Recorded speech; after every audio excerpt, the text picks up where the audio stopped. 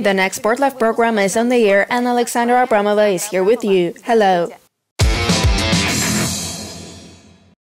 Let's start as usual with the most interesting news from the world of mixed martial arts over the past week. The sensational fight between Alexander Shlemenko and Magomed Ismailov was postponed once again. Why and on which date was the fight postponed and what does Shlemenko himself think about it? We'll tell you about that right now. Recall that Atlas signed the contract for the fight back in May of this year at the RCC press conference.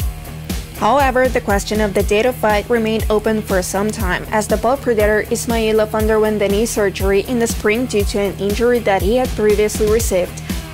Initially, the fight was supposed to take place in the end of August and then in the end of autumn. Now they announced the postponement of the fight to December this year.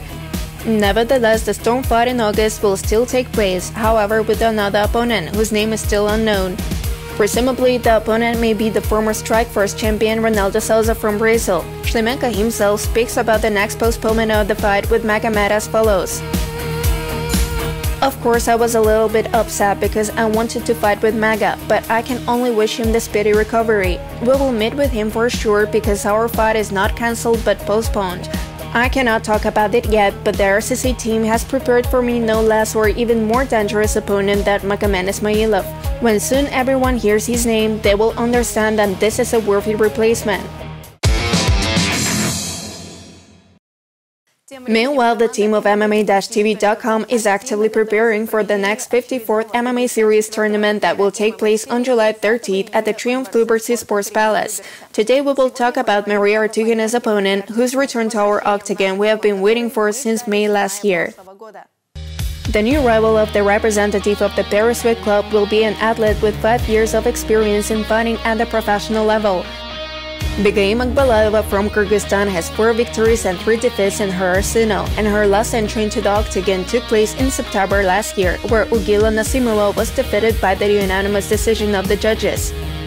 Prior to these events, at the end of January 21st, Begaim was defeated, having fallen for a choking triangle performed by Sora. Now the athlete is on a winning path on one fight and is extremely motivated to continue the streak of successful battles. Maria Artyukhina has only one pro fight more on her account. The athlete won victories in her last two duels and will also try to take her another successful outcome of the battle into her piggy bank. We wish the girls good luck and look forward for their performance in the octagon of the series. Having made his pride debut on our side last November with a confident victory over the Wolfhound Duramanov, Mexicano Jr. will face a serious test in the form of a duel with an extremely experienced fighter, Argen Maratbek from Kyrgyzstan. The former owner of the silver belt of the winner of the MMA series, Wanderley Mexicano Jr., is ready to return to the octagon. The Brazilian from the core MMA team with a record of 12-5 defeated Alexander Duramanov in November last year and took the silver belt of the winner of the series. This was followed by the defeat in the battle for the silver belt. Abdulgajik was stronger than Wanderley at the MMA Series 47 tournament. After that, Mexicano returned to Brazil and began more than a six-month process on working on the bugs.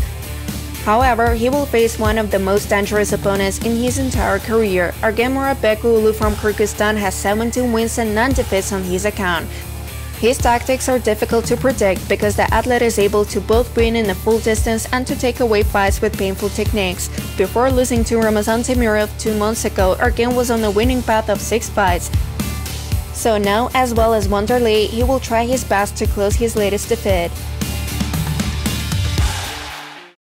The main match of the evening will be the confrontation with the participation of the representative of the club Kuznia Viktor Kolesnik.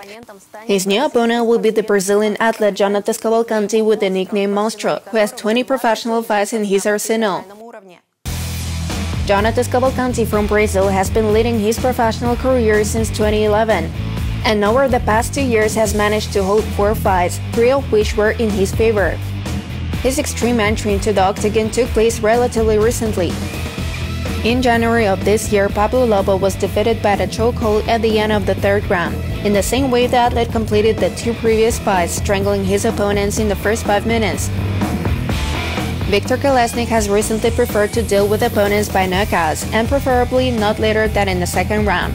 We will watch with interest the duel of fighters who have not known defeat since the last year. The cast of the MMA Series 54 Triumph Tournament are waiting for another super duel, the participants of which are already familiar to our viewers. These are Shamil Abdulkhalikov, who is on a winning path of free fights in the framework of the series, and a pupil of the Alabuka club Narkul Ulu Alibek. The representative of the Guards Club Abdulkhalikov Shamil has already performed three times within our promotion, where each of the fights ended in his favor. Shamil's extreme performance took place at the end of February, where Alireza Shirati was defeated by knockout in the second round at the 49th tournament of the series. In total, the athlete has 15 wins and 4 losses. At the same time, Abdul Abdulkhalikov is on a winning path of 3 successful performances. His new opponent will be Alibek Narkul Ulu from Kyrgyzstan with the nickname Habib, who is also already familiar to our viewers after defeating Roman Kurasov by unanimous decision of the judges in the 52nd event of the series, which took place a month ago.